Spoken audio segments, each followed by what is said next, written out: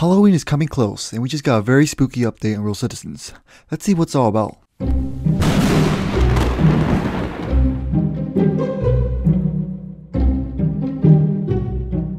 Hi, my name is Letoura. If you're new here, welcome to my channel. I do a whole lot of RoCitizens content, so if you want to see more, be sure to hit that subscribe button. It really helps out the channel and gives me clout. Anyways, let's check out this new update.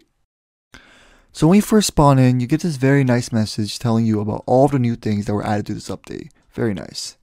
You can see that Henry is now wearing a witch hat, and the bushes around has turned yellow. Besides that though, I don't think there's anything else here that's new. So we've just arrived at a clothing store. There are quite a bit of new clothes to choose from. Here we have some costumes and Halloween related accessories.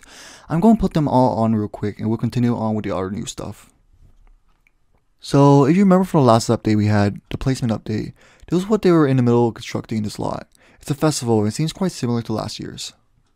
So at the entrance, we have a sign saying it's a second annual Halloween festival because it was something they started last year. And inside the festival, we actually have some new attractions that we didn't see with last year's festival. So by the entrance, we have this spinny cup thing that's similar to what you see at Disneyland. I've always hated this ride because it always made me nauseous. We also got a Ferris wheel right here. I think it's the same one from last year, just at a different location. What's cool about this update is that you are now able to carve out pumpkins to make jack-o'-lanterns. So here, you have three size options for your pumpkins, and you can choose a variety of expressions for your pumpkins. I think these are free, so that's pretty cool. Over here, we have a... Okay, I'm not gonna lie to you guys, uh, I don't actually know what the ride is called. It's just a ride that basically brings you up all the way to the top and drops you down really fast. And here we have a couple of tents set up where you can buy some fruits and vegetables like pumpkin and corn and it's basically like a, a farmer's market type of thing. We also got a costume photo shoot thing that you can take of yourself and or your friends and post it on Twitter with the hashtag RoCitizens. Nearby is a concession stand for unhealthier foods. I'm pretty sure we've seen these foods in the past. Here we have cotton candy, chocolate ice cream, vanilla ice cream, popcorn, hot dogs, and pretzels. I'm not gonna lie, thinking of these foods right now is making me kinda hungry. So across the street is what seems to be a graveyard. So one of my favorite parts of this update is that you're now able to trick or treat. To do this, you need to wait until around 8 o'clock p.m. in game time, then some message will pop up.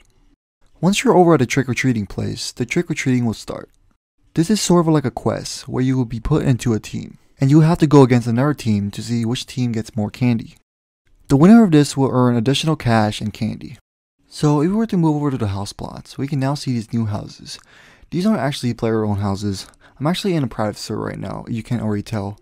These houses are actually randomly generated, and you can actually ring the doorbells to receive candy. You can use your candy to buy a variety of really nice items. Here, we have the Seer, which is a really unique item since it has a cool optical illusion to it. We also have the Haunted Manor, which is a limited home, and it was released two years ago.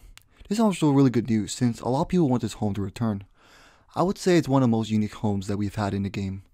We also have an inflatable ghost, and it seems like there's a broomstick that's coming soon. I'm not sure when, but it could be for the second party update. And to spawn in a house, you just click on one of these fake houses and spawn in your house. It's a cool feature for them to include trick-or-treating. I'm just concerned how this would play out for new players joining the game for the first time. It's already hard enough for new players to know how to spawn in a house when they're first starting out. Okay, so while we are here, let me show you the newly added furniture. We actually have a lot of Halloween limiteds this year, which is pretty cool. So the first item here looks like a hospital bed. I think it would be perfect for an abandoned asylum or something, maybe a haunted house. So here we have some more beds. This one just says rest in peace on it, and here lies, so I assume these are these are based on headstones. Then we have these desk decorations that just says boo on it.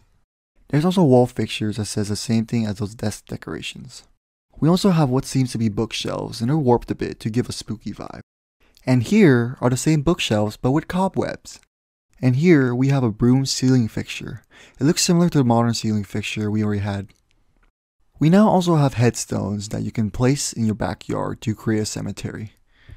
I believe that there was a headstone from last year's update that we can earn from the quest, but it's cool that the developers included them in the shop so that we can have more than one headstone, so that we are able to make a cemetery or something. We also have a potion thing and a spell book. And these are the items I don't have yet since I don't even have candy. I'll try to show them to you guys once I have enough. We also have these giant inflatable spiders, and I'm not gonna lie, they look pretty scary. Here we have an inflatable stack of jack-lanterns, and we also have the return of some of the old limiteds. Here we have a cobweb, a broken mirror, and a candy bowl. Anyways, uh, I think that's all for the vid. Be sure to like if you liked the vid, just like you didn't like it, and comment below to share your thoughts about the update.